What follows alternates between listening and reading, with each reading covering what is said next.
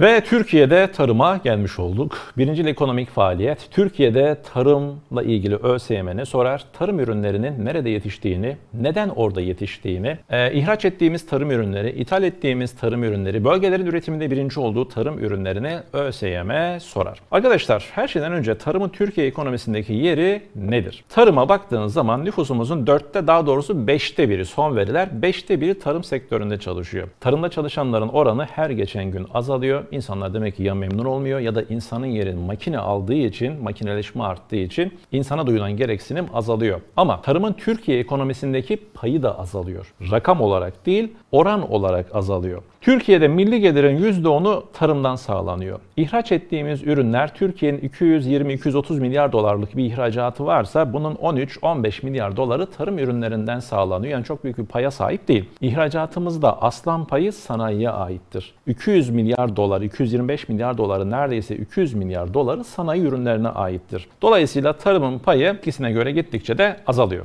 Özellikle iç ticaret ve dış ticarette fındık, pamuk, incir, tütün, üzüm, elma, sebzecilik bunlar arkadaşlar ticarete daha fazla söz sahibi oluyor. Aynı zamanda tarım ürünleri hayvancılıkta yem olarak kullanıyor atıkları. Dolayısıyla ticaretin gelişmesine de katkı sağlıyor. Peki Türkiye topraklarının tarıma ayrılan oranı ne kadardır? Türkiye topraklarının dağılımı nasıldır? Arkadaşlar Türkiye topraklarının kabaca yani 780 814 bin kilometre kareyi baz aldığımızda 814 bin 578 kilometre kare gerçek alan. Türkiye topraklarının yaklaşık üçte biri tarım alanıdır. Tarım arazi oranı en çok nerededir diye sorarsa ÖSYM buna vereceğiniz cevap Güneydoğu'dur. Birçok kaynak hala eski bilgileri kullanıyor. Marmara diyor, İç Anadolu diyor. Fakat Güneydoğu'da sulamayla birlikte tarım arazi oranı artmıştır. Güneydoğu küçük bir bölge olabilir. Ben sana yüz ölçüm kilometre kare olarak söylemiyorum. Bölgenin yüz ölçümüne oranladığın zaman en fazla tarım arazi oranı Güneydoğu'da. Sonra İç Anadolu, Marmara. Ama yüz ölçüm olarak sorulursa yüz ölçüm olarak en fazla tarım arazi toprağımız İç Anadolu bölgesinde. Hatta öyle topraklar, öyle tarlalar var ki Hollanda'nın yüz ölçümü kadar geniş tarım arazileri mevcuttur. Peki Türkiye'nin tarım arazi oranı artıyor mu azalıyor mu? Artıyor. Ama hocam diyeceksiniz. E, göç edenler tarım arazisine e, yerleşiyorlar. Sanayileşme oluyor. Tarım arazileri yerleşmeye sahne oluyor. Gittikçe azalmıyor? Evet azalıyor ama bir taraftan da tarım arazileri eğimli yamaçlara doğru oralar sürülerek, düzleştirilerek tarım arazisi kazanılıyor. Meralar sürülerek tarım arazisi kazanılıyor. Dolayısıyla tarım arazi oranı Türkiye'de artıyor. Türkiye'de ormanların kapladığı alan %28.6, %30'u aşamadığımız müddetçe biz orman zengini bir ülke sayılmıyoruz. Türkiye'de ormanlar en fazla nerede? Karadeniz bölgesinde oran olarak bunu da değinmiştik iklim konusunda. Türkiye'de meraların oranı ne kadar? %18.6. Bakın bu rakamları ezberlemeyin. Siz bazen yanlış anlıyorsunuz, rakamları ezberliyorsunuz. Ben burada tabi bunu söylemek zorundayım. ÖSYM sana rakam sormaz, sıralamayı sorar. Meralar ormanların gerisinde, tarım arazilerinin gerisinde meralar %18. Yani Türkiye topraklarının 5'te biri, 6'da biri meralardan oluşuyor. Ve bu meralar daha çok nerede? Doğu Anadolu bölgesinde. Ve sen şunu bileceksin. Meraların oranı azalıyor mu, artıyor mu? Meraların oranı azalıyor. Neden?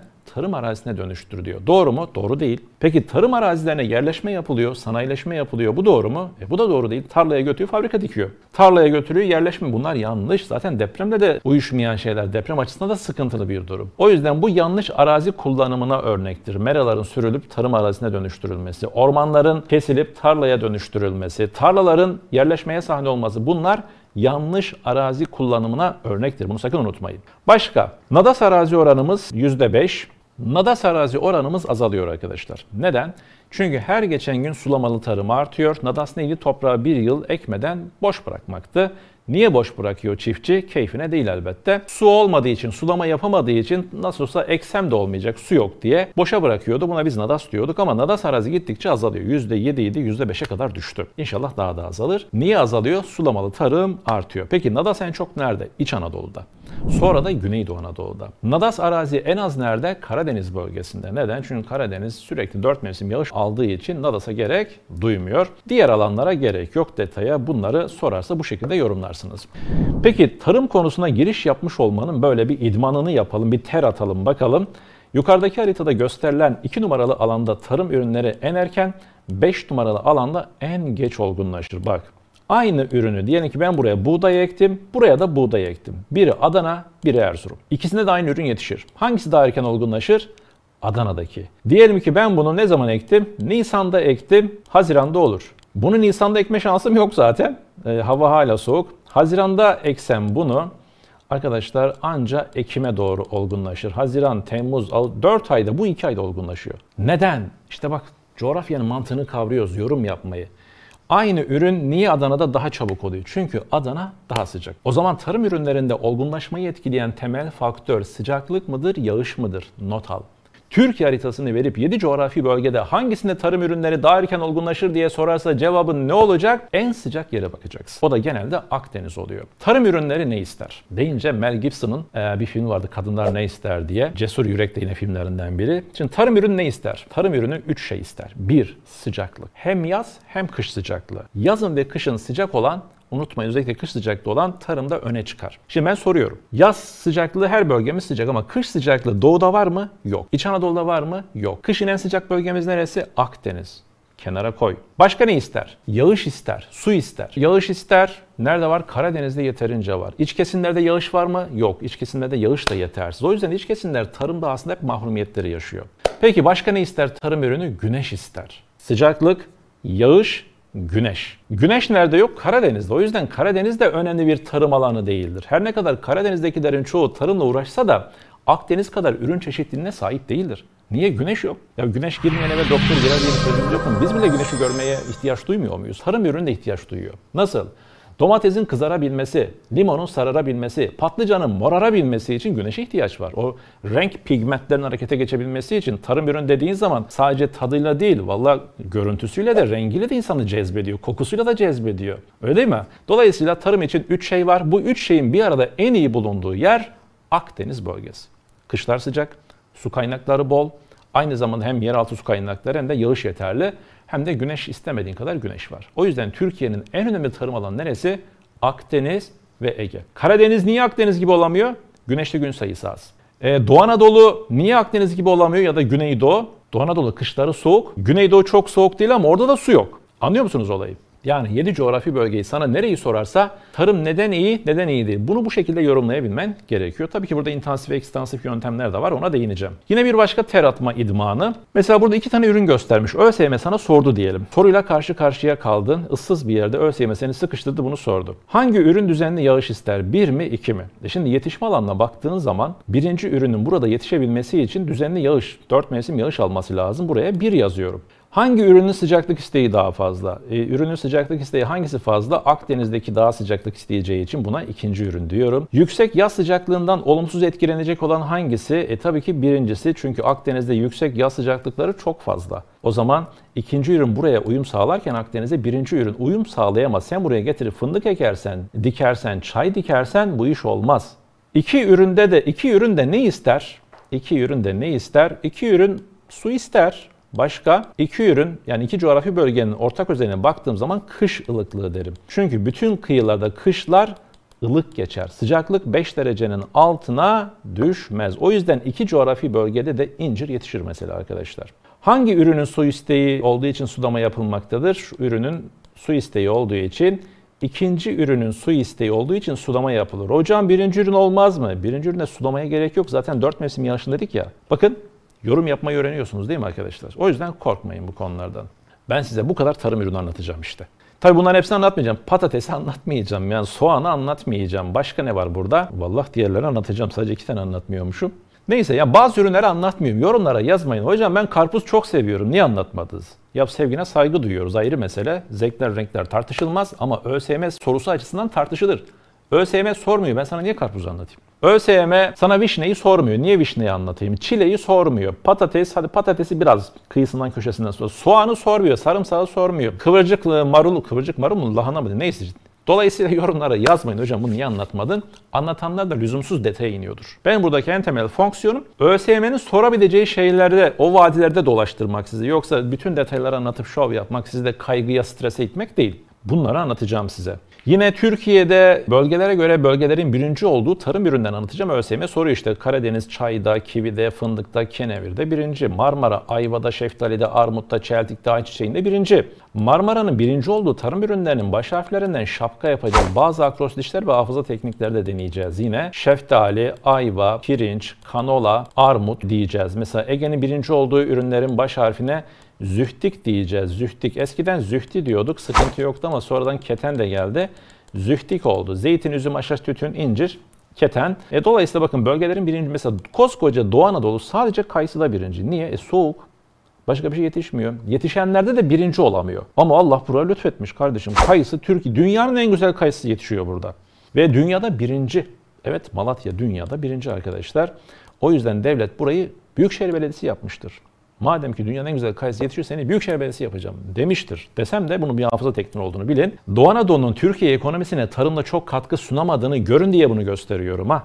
Çok büyük bir bölge ama tarım çok sınırlı. Güneydoğu bile şu küçücük bir kritik haliyle bakıyorsun. Kırmızı mercimekte birinci, pambıkta birinci, antep fıstığında birinci. Antep fıstığının kilosu en son kaç para oldu? Mahmut, gene de ekonomi şeylerini sana soruyorum. Yani kilosu bayağı fazladır. Bayağı fazla son derece siyasi bir cevap verdi. 80 var mıdır ya? Antep fıstığı 80 TL. kilosu. En son ne zaman yedin dostum sen Antep fıstığını? Ben çocukluğumdan beri yemiyorum.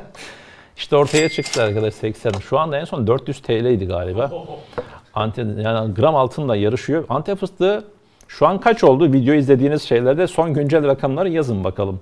Haliyle bu tarım ürünlerinin güncel hayatta da karşımıza çıktığı zaman çok çabuk anlayacağınız. Düşün bak şu İç Anadolu'ya ben şaşıyorum ya. Hani diyoruz ya su yok mu yok, tarım sınırlı ama bakıyorsun birçok üründe de birinci. Fakat hep böyle az su isteyen tarım ürünlerinde birinci. İç Anadolu, çavdar, arpa, yulaf, yeşil mercimek, işte fasulye, şeker pancarı bunlar çok su istemiyor. Ama yüz ölçümü büyük, tarım alanları geniş olduğu için bunlarda da birinci. Mesela bir buğday çok önemli. Buğday olmasa biz millet olarak ne yapacağız? Çok kötü. Başka şey olmazsa olur ama buğday olmazsa, ekmek olmazsa olmaz. Bunları detaylı anlatacağım size arkadaşlar. Fakat ondan önce Türkiye'de tarımda verimi arttırma çalışmaları. Türk tarımında verim istenen düzeyde mi? Verim ne öncelikle? Yani aynı tarla şu masa büyüklüğünde bir tarla olsun. Ben buraya atıyorum Türk çiftçisi olarak 10 kilo ürün alıyorum. Hollandalı atıyor 50 kilo alıyor. Ya atmadan atmaya fark mı var? O ellerini sabunlayıp da mı atıyor? Nasıl atıyor? Niye bu tarladan ben fazla alamıyorum da bu daha çok alıyor? İşte burada şunu sorgulamamız lazım. Türk tarımında neden verim düşük? İşte onun nedenlerini burada sıraladım. Arkadaşlar sulama en büyük sorunumuz sulamadır. Bu kadar üç tarafı denizle çevrili olan bir ülkeyiz. Bu kadar yeraltı suyumuz var ama sulama en büyük sorunumuz. Hani diyor ya onu hazinenin üstünde oturuyoruz ama kullanamıyoruz. Bir, deniz suyu sulamada kullanılamaz. İki, bu kadar akarsuyun var da niye sulamada kullanamıyorsun? Çünkü çıkmış sorudur bu. Akarsular çok derin vadilerden akıyor. Bak şurada akıyor akarsu. Tarla nerede? Tarla şurada. Görünüyor değil mi? Şimdi sen bu suyu buraya nasıl çıkaracaksın? Kovayla mı çıkaracaksın? Buna güç dayanır mı? O yüzden dayanmaz. Devlet ne yapıyor? Bunların önüne set yapıyor, baraj yapıyor, su seviyesini yükseltiyor. Su tarlayla aynı seviyeye geldiği zaman hop sulama kanallarıyla buraya aktarıyor. Türk tarımının en büyük sorunu neymiş? Sulama daha doğru ifadesiyle sulayamama diyebiliriz. Neden akarsuları yeterince kullanamıyoruz? Çünkü çok derin vadilerden akıyor. İşte GAP KOP ve diğer bölgedeki projeler ne yapıyor arkadaşlar? Bu suları tarlalara ulaştırma projesi, setler yapılıyor, barajlar yapılıyor, oradan tarlalara ulaştırılıyor. Peki sulama sorunu en çok nerede yaşanır? Sulama sorunu en çok Karadeniz diyecek haliniz yok. Sulama sorunu kıyılarda yaşanmaz. En fazla İç Anadolu, Güneydoğu Anadolu, Doğu Anadolu. Kıyı bölgelerinin de iç kesimler yani Ege'nin mesela Manisa'da yaşanabilir. Uşak'ta yaşanabilir. Afyon'da, Kütahya'da yaşanabilir. Niye? Çünkü Ege'de ama bu içeride kalıyor. Karasal iklim. Akdeniz bölgesinde Isparta'da, Burdur'da yaşanabilir. Karadeniz bölgesinde olmasına rağmen Bayburt'ta, Gümüşhane'de yaşanır. Niye? Çünkü o iklimden etkilenmiyor ki. Sulama sorunu en çok yaşayan İç Anadolu, en az yaşanan bölge, sonra Güneydoğu. Bu da tamam. Peki sulama sorunu çözersek ne olur? Vallahi devrim olur. Neler olmaz ki? Bir kere tarım iklime bağımlılıktan kurtulur. Tarım şu anda iklime bağımlı. Yani yağmur yağarsa ürün var, yağmur yağmazsa ürün yok. Sen ne yapıyorsun? Yağmur yağmazsa sulamayla o sulama eksikliğini, yağış eksikliğini gideriyorsun. İklime müdahale ediyorsun ve tarım iklime bağımlı olmaktan kurtulmuş oluyor. Bu önemli. Nadas yöntemi terk edilerek her yıl ürün alınır. Nadas neydi? Yağışın az olduğu yerlerde tarlayı bir yıl ekmeden, biçmeden boş bırakmak. Yanlış bir yöntem ama mecbur kalıyor çiftçi. Eksem de olmayacak çünkü yağış yok. O zaman sen sulama yaparsan çiftçi nadasa bırakmayacağı için o tarlayı her yıl ekip biçmek durumunda kalacağın için üretimdeki dalgalanmanın da önüne geçiyorsun. Yani bir yıl üretim az, bir yıl çok gibi bir şey olmuyor. Her yıl üretim alıyorsun. Verim bu şekilde de artmış oluyor. Geçiyorum. Yılda birden fazla ürün alabilirsin. Yani su olsa o tarlayı 2-3 defa ekip biçeceksin. Su olmadığı için sadece bir defa ekebiliyorsun. Dolayısıyla yılda birden fazla ürün alma sağlanabilir. Başka, ürün çeşidi ve üretim miktarı artar. Nasıl arttı? Güneydoğu deyince aklınıza sadece karpuz, antep fıstığı, mercimek geliyordu. Ama şu anda Güneydoğu'da pamuk üretimi de var. Hatta pamuk da birinci. Güneydoğu'da sebze üretimi var. Güneydoğu'da şeker pancarı üretimi yakında başlayacak. Pirinç üretilen alanlar var. Mısır üretimi var. Ayçiçeği üretimi var. Bakın ne oldu? Sulamayla beraber ürün çeşidi arttı. Dolayısıyla hani o bölgede toprak değerlendi. Çiftçi oradan göç etmekten vazgeçti bir kısmı. Bu aynı zamanda sosyal problemleri de ortadan kaldırıyor ha. Yani GAP projesinin, GAP projesi derken bazı işgüzarlar var. Hocam anlatın bozuk deme. Ya biz de biliyoruz ama söylen işte böyle söylenir. GAP yapılmasının amaçlarından biri oradaki terör olayları, sosyal problemleri de ortadan kaldırmak. Niye? Çünkü insanlar maddi durumu iyi olunca bunu kaybetmek istemeyecektir. Bu da amaçlardan biri. Endüstri bitkilerinin miktarı artar. Endüstri bitkisi nedir? Mesela pamuk bir endüstri bitkisidir. Yani pamuğu ekersin, biçersin ama ondan tekstil yaparsın, kumaş yaparsın, iplik yaparsın, sanayide çok kullanırsın. Tütün, sigara yaparsın üzüm, şarap yaparsın ya da pekmez yaparsın gibi. Birim alandan alınan verim artar. Tarımın milli gelir içerisindeki payı artar. Üretimdeki dalgalanmanın önüne geçersin. İklime bağımlılıktan kurtarırsın. Bu söylediğim cümleler çok önemli ama her şeye rağmen Güneydoğu'da bazı ürünleri sulamayla yetiştiremezsin. Zeytin olmaz, çay olmaz, fındık olmaz. O zaman çıkmış sorudur bu. Hangisi Güneydoğu'da sulamayla birlikte tarım artacak ürünlerden biri değildir? Bu dediğim ürünler sorulmuş. Zeytin olmaz. Neden? Sadece su istemiyor ki. Kış ılıklığı da istiyor. Hocam Güneydoğu kışlar ılık da hani öyle demiştiniz. Güneydoğu kışlar ılık ama zeytine yetecek kadar ılık değil. Turunçgile yetecek kadar ılık değil. Anlatabildim mi? Yani çaya yetecek kadar su yok, çaya yetecek kadar ılık değil. Dolayısıyla sulamayla birlikte her şeyi de üreteceğin yanlışına düşme. Geçiyorum. Sulama bu. Bir de sulamada şey var arkadaşlar. Şu anda daha intensif bir yöntem var. Damla sulama var, serpme var. Eskiden vahşi sulama vardı. Nedir? Yani adam kanalı tarlaya olduğu gibi akıtıyor. Resmen sel gidiyor. Yani toprağa da götürüyor. Hatta bundan dolayı Güneydoğu'nun topraklarında tuzlanma sorunu yaşanmıştır. Aşırı sulayınca su derinlere kadar iniyor. Derinlerdeki tuzu buharlaşmada yüzeye çıkarıyor. Bak enteresan aşırı sulamadan tuzlanma sorunu yaşanmıştır. Bu konuda da bazı şeyleri yeni yeni doğru yapmaya başlıyoruz. Makineleşme ya tarımda makineleşme önemli. Evet bazı dezavantajları var. İnsan gücüne gereksinim azalacağı için bazı insanlar işsiz kalacak. Ama verimi arttırma yöntemlerinden biri, hasat süresini kısaltma yöntemlerinden biri. Bak bu şeyi karıştırmayın. Tarım ürünlerinde olgunlaşma süresini sıcaklık etkiler. Ama hasat süresi hani olgunlaşmış tarladan toplamaya biz hasat diyoruz. Makineleşme bunu kısaltıyor verimi arttırıyor. Neden? Ürün kaybını azaltıyor, zamandan kazandırıyor. Dolayısıyla makineleşme olması lazım. Makineleşme intensif tarımın yöntemlerinden biridir. İntensif nedir? Hani biz in, out deriz ya. In, out deriz. In iyi demek. Out kötü demek. İntensif tarım modern tarım demektir. Her şeyi kuralına göre, çağın gerçeklerine göre yapmak demektir. E, makineleşme de bunlardan biridir. Makineleşmeyi nerede sağlayamazsın? Doğu Karadeniz'de sağlayamıyorsun. Bakın Doğu Karadeniz'de tarımda makineleşme en zor. Sebep çünkü çok engebeli. Makineyi bırak iki insan el arabasını bile zor sokuyorsun oraya. Yani sen oraya biçer döveri sokamazsın. Ancak helikopterle indirebilirsin. Peki hocam makineleşme böyle verimi arttıracaksa, çiftçiye daha çok kazandıracaksa çiftçi niye makineleşmiyor? Ya niye makineleşmiyor var mı? Yani bir makine kaç para bugün? Türkiye'de makineleşmenin önünde iki tane engel var. Yaz. Biri maliyet, biri zihniyet. Nasıl yani hocam? Maliyet Bugün bir traktör kaç para ben bilmiyorum. Bilenler yoruma yazsın herhalde 1 milyon TL'nin üstüne çıkmıyor. Bir biçer dövere tahmin bile edemiyorum herhalde 3-4 milyona çıkmıştır bir biçer döver. Ya bunu kaç çiftçi alabilir? Gerçekçi olalım. Hocam adamın parası var yine de almıyor işte. Bu da zihniyet. Eski kafa. Ben babadan böyle gördüm diyor. E, direniyor yani. Çağın gerçeklerine direniyor. Hani çok sık anlatılan bir şey var ya ben de değiniyorum. Ziraat mühendisi köye gidiyor. Adamın ismi Kani. Diyor ki Kani amca ya bak şöyle yap böyle yap. Bu daha doğrudur. Adam diyor ki ziraat mühendisine 40 yıllık Kani şimdi lütfen yani sen bana mı öğreteceksin diyor. Sen git işine bak ben babadan böyle gördüm diyor. Şimdi bu insana ne anlatabilirsin? Zihniyet problemi var. O zaman Türkiye zihniyet ve maliyet engelini aşarsa tarımda da çağ atlayacak seviyeye gelir. Hollanda kadar kazanabiliriz. Hollanda diyorum. Ya Hollanda'nın e, tarımdan ihracatı 150 milyar dolar. Türkiye'nin 13-14 milyar dolar. İnsan utanıyor söylemeye valla. Hollanda Konya kadar bir yer. 150 milyar dolar ve bizim kadar da iklim çeşitliliği olmayan bir yer. Nasıl kazanıyor ya bu kadarı? Türkiye 13-14 milyar. Demek ki Türkiye'de Hollandalılara versen bu işi herhalde 1 trilyon dolarlık gelir elde ederler. Yani Türkiye sadece tarımla bile geçinebilir bir ülke aslında. O yüzden zihniyet engelini gerekiyor. Gübreleme tarımda verimi etkileyen faktörlerden biridir. Yani bizim topraklarımız verimsiz. Gerçekçi olalım arkadaşlar. Bu acı gerçek. Topraklarımız verimsiz. Çok fazla erozyona maruz kalıyor. Humus bakımından, mineral bakımından zengin değil. O yüzden gübrelemen lazım. E, gübre nereden geliyor? Yurt dışından. E, pahalı.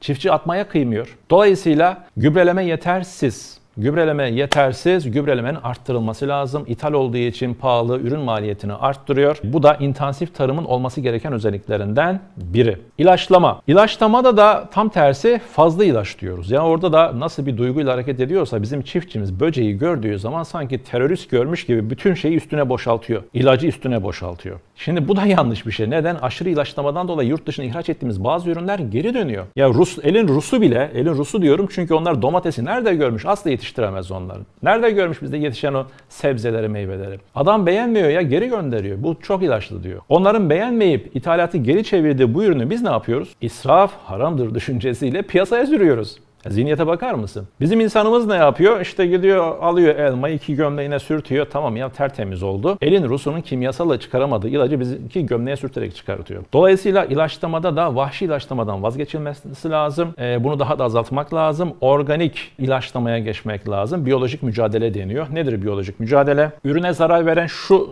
zararlı ise diye bu böcek. Bununla beslenen başka bir böceği tarlaya salıyorsun. Bu bunu yiyerek ilaç kullanmadan temiz iş. Bir nevi kiralık katil, kiralık böcek. İki tarafın da işine geliyor. Hem böceğin hem çiftçinin. Dolayısıyla son zamanlarda da e, bu yönteme başvurulmuştur diyorum. Tohum ıslahı. Tohum ıslahıdan önce insanları ıslah etmek lazım. Tohumları ıslah etmesi gerektiğini öğrensin diye. Türkiye'deki tohumlar arkadaşlar hibrit özelliğinde değil ama bu laboratuvarda ıslah edildiği zaman genleriyle oynanıyor. Bir alacakken 5 alıyorsun. Bu anlamda e, çalışmalarımız var, güzel çalışmalar var fakat hala ithalatın kurbanıyız. Özellikle de İsrail'in en iyi müşterisiyiz. Adamlar da öyle bir hinki tek kullanımlık veriyor. Yani oradan aldığın tohumu tekrar tekrar kullanamıyorsun. Bir kullanımlık. Her sene gidip alman gerekiyor. Burada da kantarın topuzunu iyi ayarlamak lazım. Yani genlerle oynayacaksın diye tohumu tamamen hormon basmamak gerekiyor. O zaman da işte bazı rahatsızlıklar ortaya çıkıyor. Maalesef bazı ürünlerde çok fazla oynat, oynanıyor. Genetiğiyle işte mısır bunlardan biri. Bence tüketirken en çok dikkat etmeniz gereken şeylerden biri. Tohum ıslahımız yeterli değil. Yurt dışına bağlıyız. Bunun geliştirilmesi lazım. Bu arada ıslah edilmiş tohumlar hibrit. Bunların gramı da altından pahalıdır ha. Onu da söyleyeyim. Çiftçinin eğitimi en başta olması gereken şeylerden biri. Ziraat mühendisleri tarlaya salmak. Aynı zamanda işte köy TV, çiftçi TV bir şeyler vardı. Bir zamanlar ben de izliyordum. Hoşuma gidiyordu. Yani çiftçilikle alakam olmamasına rağmen. Başka ne olabilir? Başka arkadaşlar tarımı destekleyen kuruluşlar. Destekleme alımı. Tarımı destekleyen kuruluşlar ne olabilir? Çuko Birlik olabilir, Fisko Birlik olabilir, Ant Birlik, Marmara Birlik, Panko Birlik, Tekel, Ziraat Bankası, Ziraat Bankası çiftçiye kredi veriyor ya, DSİ sulama imkanı sağlıyor. TZDK, Türkiye Zirai Donatım Kurumu araç gereç desteği sağlıyor. Herkes e, makine alamaz yani. Bu arada bu Çuko Birlik, Fisko Birlik neyi destekliyor bunu da bilmek lazım. Fisko Birlik fındığı destekler, fıstık değil. Çuko Birlik çikolata değil. Öğren, neyi destekliyor? Öğren çikolata. Ne çikolatası? Çuko Birlik pamuğu destekler. Çukurova'dan geliyor. Aklınıza öyle gelsin. Ant Birlik ayçiçeği yağı, Marmara Birlik zeytin. E tekeli zaten biliyorsunuz. Panko Birlik şeker pancarı. Dolayısıyla bunları da söylemiş olayım ve geleyim e, destekleme alımı. Arkadaşlar devletimiz bazen gerçekten çok babacan davranıyor. Benim çiftçimin elinde kalmasın diye getir ben alacağım diyor. Yani bazı ürünlerin yetiştirilmesi lazım. Mesela buğday. Niye? Çünkü buğday ekmeksiz yaşayamayız. Elma, armut, havuç olmazsa olur ama ekmeksiz olmaz. O yüzden devlet diyor ki çiftçiye bak bu ürünün ekonomik değeri çok yüksek değil. Bir kilo buğday ile bir kilo elma aynı fiyata değil. Bir kilo şeker pancarı aynı fiyata değil. Buğday daha ucuz. Çiftçi diyor ki ya ben bunu üretmek istemiyorum. E, ekmek nereden bulacağız? O yüzden devlet diyor ki sen üret onu ben alırım. Sana destekleme alımı yaparım. Daha sonra buğdayla başlayan bu serüven fındığa da uygulandı. İşte üzüme de uygulandı. Bir zamanlar tütüne vardı. Tütüne artık uygulanmıyor. Kayısıya uygulandı. Dolayısıyla devletin destekleme alımı yapmasının nedeni nedir? Çiftçinin ürünü elinden kalmasın, bazı stratejik ürünlerin üretimi devam etsin, insanların keyfi fiyat uygulamasına kurban gitmesin e, ve ülke genelinde ürünler benzer fiyatlara satılsın diye devlet destekleme alımı yapar diyorum. Evet, tarımda verimi etkileme, işte makine kullanımı dedik bakın son derece teknoloji burada kendini gösteriyor. Sulama en önemli sorunumuz dedik. Toprağın bakımında sorunumuz yok. Toprağı sürmek, havalandırmak, yabancı otlardan eklemek sorun yok. Gübreleme sorunumuz var dedik. Tohum ıslahı maalesef sorunumuz var. Bakın ıslah yani organik tohum bulunamıyor. Piyasada çok değerli bulabilirsiniz. İlaçlama sorunumuz fazla ilaçlamadan kaynaklı sorun dedik zaten buna. Çiftçinin eğitimi anladınız ne demek istediğimi. Pazar sorunu yaşamıyoruz. Türkiye tarım ürünlerini satacak çok fazla ülke buluyor. Özellikle Rusya, Orta Doğu ülkeleri, Avrupa ülkeleri bizim için önemli pazar. Destekleme alımlarını söyledik ve tarımı destekleyen kuruluşları da zikrettik. Ve geliyorum intensif tarım, ekstansif tarım bunlar nedir? Arkadaş, ekstansif, eks artık çok kullanıyorsunuz. Eks aşkın diyorsunuz. Eksildi yani. Kötü, kaba, yaygın. Yani literatürdeki karşılığı bu. Ya da hasta eks oldu diyorsunuz. Oradan aklınıza gelsin. Kötü yani. Türkiye'de yaygın olan kaba tarım, ilkel tarım, babadan görme tarım. Bunun terk edilmesi lazım. Tarım işletme yöntemidir. Nedir bu? Sulama yetersiz, gübreleme yetersiz, tarımda iklime bağımlılık fazla, sulama yetersiz olduğu için. Seracılık az. Mesela hani intensif tarım yöntemlerinden biri de seracılıktır. Sadece sulamaya değil sıcaklığa da etki ediyorsun. Serayla kapatıyorsun tarım ürünün üstünü kışın soğuklardan korunsun. Bu iklime müdahaledir. İntensif tarım yöntemidir bu. Tabii ki bu da maliyetle ve zihniyetle ilgili bir durum. Yıllar arası üretimde dalgalanmalar olur. Çiftçi bazen çok kazanır, bazen az kazanır. Yağış olmazsa az kazanır. Yani keyfi yoktur. Yarını kestiremez. O yüzden işten her an ayrılma durumundadır. Nadas uygulaması yaygındır. E, Doğu Anadolu, Karadeniz, İç Anadolu, Türkiye'nin genelinde ekstansif tarım, babadan görme, makine kullanımının az olduğu, gübrelemenin yetersiz olduğu, kazancın az olduğu tarım uygulanır. Derhal bir zihniyet değişimi gerekiyor. İntensif ne? Söylediklerimin yukarıda söylediklerimin tam tersi. Modern tarım da diyebiliriz. Sulama sorunu halledilmiş, makine, gübreleme, ilaçlama, kaliteli tohum hepsi on numara. Üretim miktarı fazla, verim fazla. Yani Hollanda'da uygulanan tarım sistemi bu arkadaşlar. Ekonomik getirisi yüksek ürünler tercih edilir, iklime bağımlılık azalmıştır. Yıllar arasında üretimde dalgalanmalar olmaz. Niye? Nadasa bırakmıyorsun çünkü. Her sene sulama yapıyorsun. Marmara, Kıyı Ege, Akdeniz'de daha fazla uygulanır ama oralarda da henüz istenen düzeyde değil. İşte seracılık bir intensif tarım yöntemidir. Nadas tarımı nedir? Nadas dedik tarlayı bir yıl boş bırakma. Özellikle yağışın az olduğu İç Anadolu ve Güneydoğu'da yaygındır. İyi bir yöntem değildir. Mecbur kalınan bir yöntemdir ama devlet şöyle bir alternatif önerdi. Tarlayı boş bırakmak yerine ürünü değiştir. Hani şeker pancarı ekiyorsun, su yok, eksen olmayacak. Hiç olmazsa az suyla idare edebilecek ürünler ek. Tarla boş kalmasın. Buna biz nöbetleşe tarım diyoruz. Ürünü değiştiriyor yani fi gibi, korunga gibi, yonca gibi şeyler ekliyor mesela. Nöbetleşenin diğer adı münavebeli tarım. Plantasyon tarım Türkiye'de uygulanmaz. Niye buraya yazdım? ÖSYM hangisi Türkiye'de uygulanmaz diye sorarsa plantasyon. Güney Amerika'da uygulanır, Kuzey Amerika'da uygulanır. Çok geniş tarlalar vardır. Tek tip ürün üretirler. Sadece tütün. Sadece pamuk, sadece kahve. Tarlalar o kadar büyüktür ki bir ucundan bir ucuna uçakla giderler. Ülke büyük. Amerika zaten çok büyük bir yüz ölçüme sahip. Türkiye'de böyle bir tarım yöntemi yoktur arkadaşlar. Diyorum ve geçiyorum. Nöbetleşe ekim, plantasyon, intensif, ekstansif anlattım. Bakın burada monokültür diye bir ifade var. Bunu da neyle karıştırıyorsunuz? Monokültürü mikro klimayla karıştırıyorsunuz. Değil mi? İtiraf edin karıştırıyorsunuz. Mono tek demek. Tek tip ürün. Bazı yörelerde tek tip ürüne yönelmişler. Başka hiçbir şeye gerek duymuyorlar. Yani o ürün o yöreyle o kadar özdeşleşmiş ki o yörenin adeta soyadı gibi olmuş. Şimdi Malatya soyadın kayısı. Tanıştıralım. Ben Malatya kayısı. Ben Aydın incir memnun oldum. Ben Rize çay. Ama ben Ankara buğday diyemiyorsun mesela. Antep fıstık diyebilirsin. Özdeşleşmiş. En çok orada yetişiyor. İşte mono bir yörede bir ürün yoğun olarak tercih ediliyorsa monokültür deniyor. Monokültür mesela Iğdır'da pamuğun yetişmesi monokültür değil mikro klimadır. Şimdi pamuk Iğdır'a mı aittir? Pamuk Güneydoğu'ya aittir. Iğdır'da kayısı, kayısı Malatya ile özdeşleşmiş. Ama Iğdır'da pamuğun yetişmesi mikro klima ne demek? Mikro dar alanı demek. Çevresindeki iklim olaylarından bağımsız orada yöresel küçük bir alanda bir iklim ılım anlaşması var. Orada da pamuk yetiştirebiliyor. Rize'de mesela Rize'de Satsuma türü mandalina'nın yetişmesi. Turunçgil yetişiyor Rize'de.